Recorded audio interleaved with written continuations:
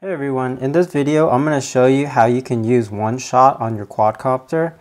Um, in order to use one-shot you have to first um, flash your Naze32 with CleanFlight and you have to install or flash um, your um, ESCs with the BL Heli firmware. For a more detailed um, explanation on what what each of these things are, you can check on my website and there'll be more um, more info on there. But in this video, I'm going to mainly focus on showing you how to flash uh, your your flight controller with CleanFlight and show you how to flash BL Heli onto your ESCs.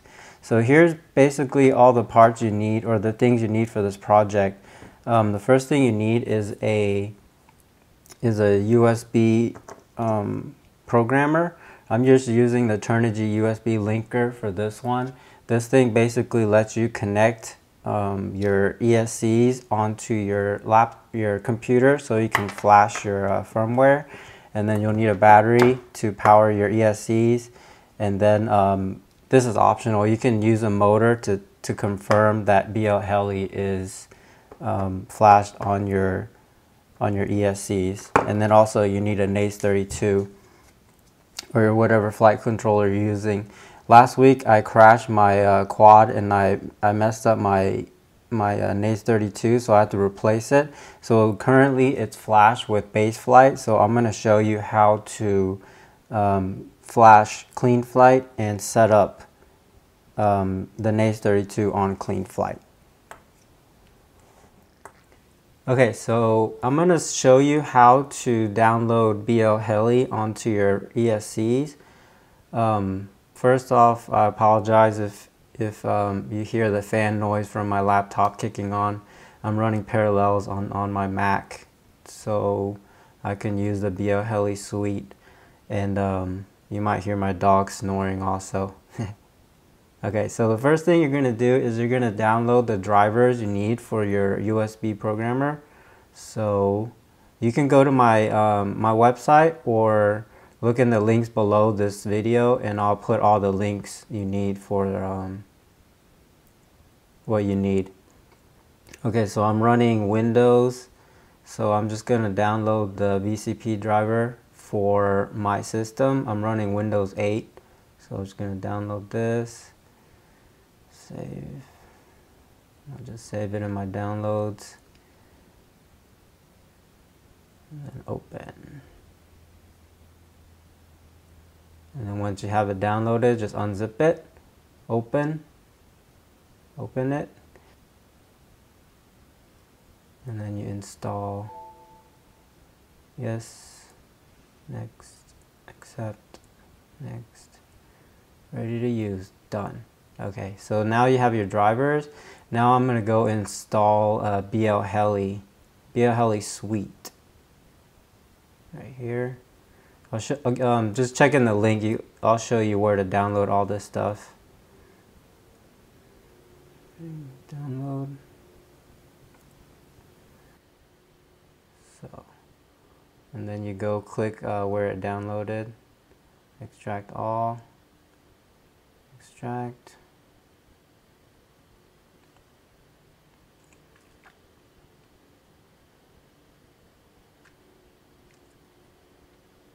And then just let it complete the download. And then once it opens just click this.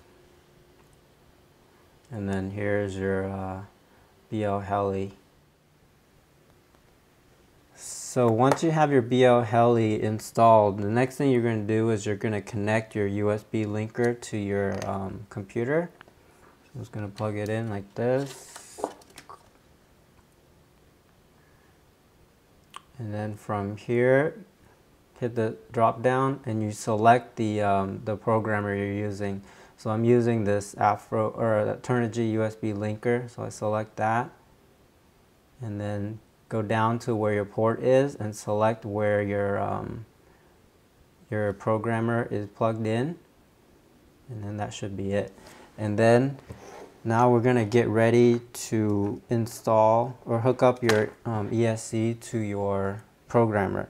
So the only thing you need to do for this is you need to remove the, um, the power pin, the middle pin from your um, receiver leads. So you're just going to get a little tiny tool and lift this thing up and then just pull out this wire like that. So it's going to look like that with the middle removed. And then and then you're just going to plug it into your USB linker signal um, on the left and then ground on the right, just like this.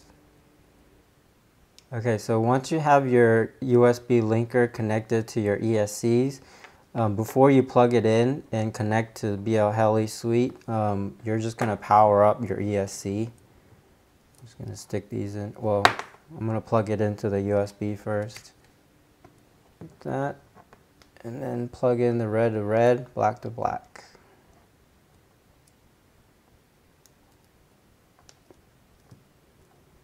That. And then on your BL Heli Suite, you're going to click connect. It's going to connect. And then next, you're going to hit read setup. So it's telling me right now uh, my ESC's um, flashed with Simon K. Do you want to flash it with BL Heli? Yes. And then you just go here and you find the ESC you're using. I'm using a Afro 12 amp multi. And then you hit select or OK. And then it's just going to ask you confirm, confirm. And then it'll take about 25 seconds to actually flash the firmware. Um, just let it do its thing.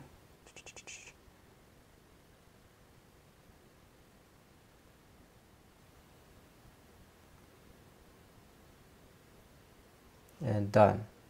It says BL Heli version 13.2 successful 25 seconds. Okay. So once it's um, flashed, the only two settings that I change is the PWM frequency dampen. I'm going to change it to light. So this is your dampen light. And then I'm going to change the motor timing to high. Done and then you're pretty much done with flashing BL Heli. And then I'm just going to disconnect. And here's a way to confirm that your ESC has been flashed with BL Heli. If you plug in a motor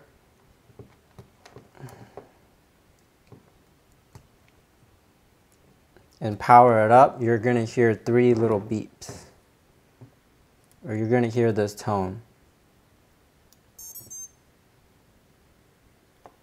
If you hear three beeps, that means it's flash with BL Heli. Do it again. And you're done. So the next thing we're going to do is we're going to flash clean flight onto our flight controller. The first thing you need to do is uh, get Chrome, install Chrome, and then add a clean flight configurator to your Chrome. So we're just going to do that.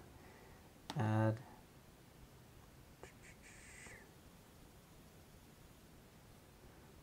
and now you have clean flight.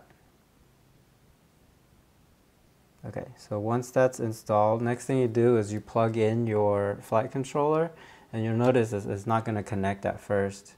So we do connect, it's not going to connect because you have to flash the firmware, flash clean flight firmware onto your flight controller first. So I'm go here and then you just hit the drop down and then you'll just uh, select the most current stable version for your flight controller.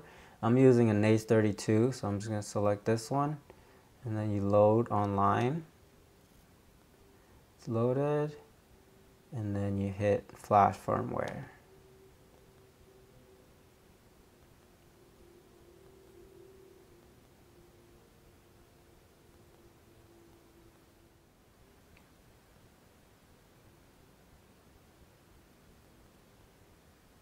Okay, now it's telling me it's programming successful. Now I can connect.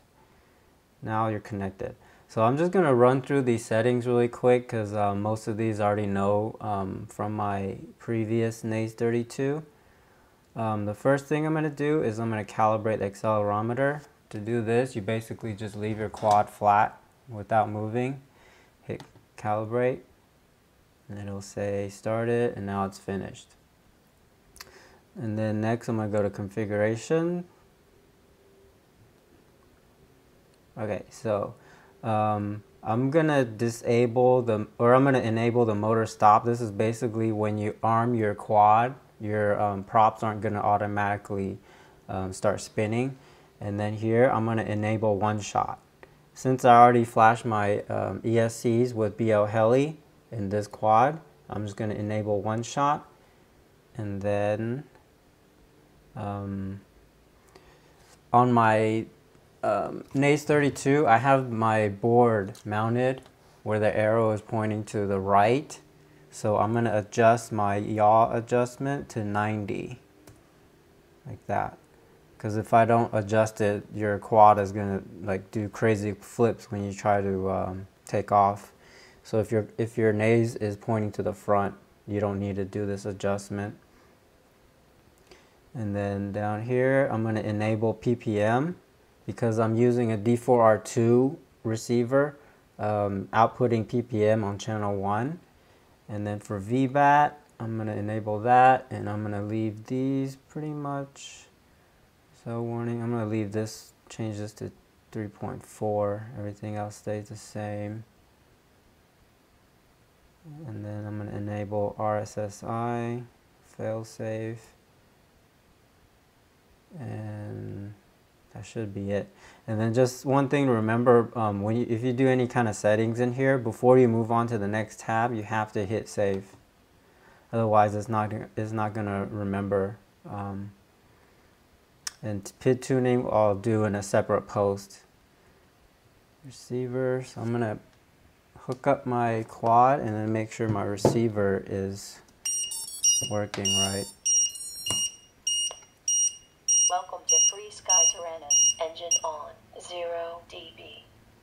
Okay, so... Okay, you'll see here that my quad, the control is not working like the um, like my configurator and that's because my channel map is wrong. It should be on this one. Change that, hit save. And now my throttle is throttle, yaw, pitch, and roll. Everything looks good here. Now I'm going to go to the modes. Okay, so next I'm going to show you how to set up the modes in clean flight because it's a little bit different than uh, base flight. So in my previous video, I showed you how to program your Taranis, how to set the switches to your different auxiliaries. Um, I'll put a link in the description below, but for now, I'm going to assume you know how to do that. So for my controller, I have this switch right here set up as a flight mode, and then this is my arm and arm and disarm. So you'll see in clean flight, you'll see on the um, left, you have all these options right here. So basically for the one you want, you hit add range and then you select the correct auxiliary you have. So I'm going to set this as arm. So this is my auxiliary 2. So I hit auxiliary 2, you'll see that this little orange thing starts moving around. So I'm to set forward as arm, and then you just set the range to where you want, like that. And then I have down set as my beeper. So I set this, change it to auxiliary 2. And then you'll see this thing go to the right. And then you hit save, it'll start beeping. See? Engine on. Arm beep. And the next thing you do, next thing I'll do is program my flight mode. So I usually have this um, in the high position for angle. So this is already auxiliary one. So you set it like this. And then in the middle, I usually have horizon. So it's already horizon. And then if you don't set anything for position like this, it'll automatically be um, angle mode or I mean uh, rate mode. So that's what I usually fly in. So um, hit save and everything should be set.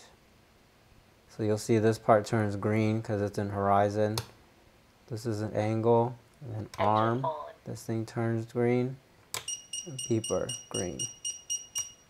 And that's how you set modes in clean flight. Okay, so here's a demonstration on a quadcopter running Simon K. Notice how um, when I shut off the motor or shut off the throttle, the, the motors just keep spinning like this.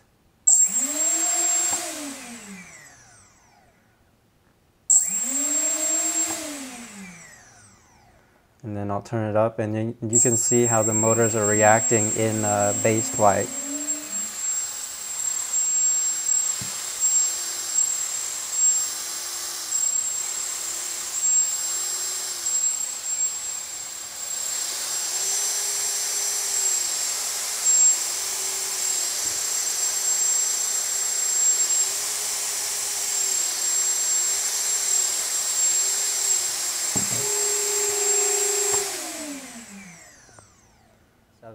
So here's a demonstration of a quad running BL Heli in one shot. Notice how the, the motor stopped quickly after I cut the throttle.